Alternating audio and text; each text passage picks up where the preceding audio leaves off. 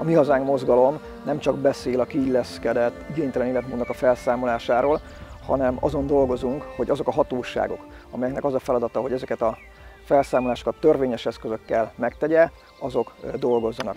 Ez történt itt Tiszaföldváron is, és át is adnám a szót a választókerület elnökasszonyának Szabó Bettinának. Több lakossági megkeresés érkezett hozzám, miszerint a Tiszaföldváron élők mindennapjait megkeseríték a lelakott, balesetveszélyes állapotban lévő ingatlanok, ingatlan maradványok. Legelőször 2020-ban fordultam a helyi önkormányzathoz a problémát illetően, ez azonban érdemi változást nem hozott. Ezután a megyei, majd országos hatóságokhoz fordultam, akik helyszíni szemle során megállapították, hogy bejelentéseink nem voltak alaptalanok, az ingatlant balesetveszélyessé nyilvánították.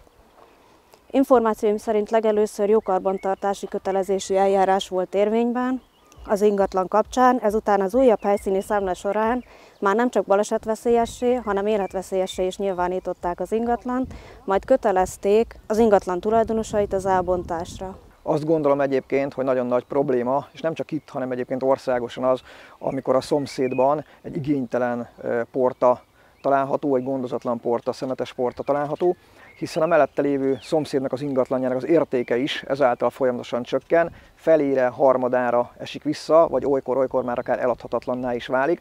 Nyugodtan mondhatjuk azt, hogy egy életmunkája megy tönkre, és ezzel igazából, bár ez folyamatosan probléma, különösen vidék Magyarországán, azonban senki nem foglalkozik a mi hazánk mozgalmon kívül gyakorlatilag.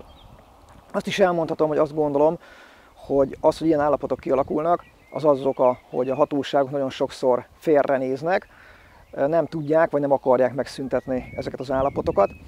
És ami az elmúzónak pontosan az a dolga, hogy a hatóságot rábírjuk arra, hogy a törvényeket és a szabályokat mindenkivel, hangsúlyozom, mindenkivel tartassák be.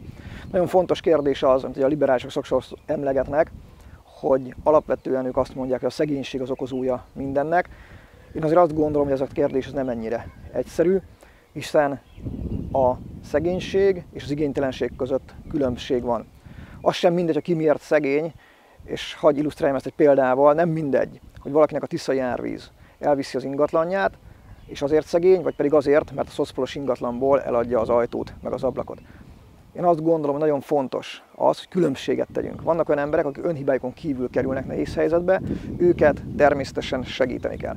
Viszont vannak olyanok, akik nem, őket pedig rá kell venni, akár a törvény és a hatóságok erejével arra, hogy tartsák be a közösségügyítélés szabályait, és általában a szabályokat és a törvényeket. A Mi Hazánk mozgalom érdemelvű társadalmat épít, és ezt értékek mentén lehet építeni. Mi azt gondoljuk, hogy ha valaki dolgozik, adót fizet, tisztán tartja a környezetét és építi ezt az országot, akkor az az érték, és mi az építők pártján állunk.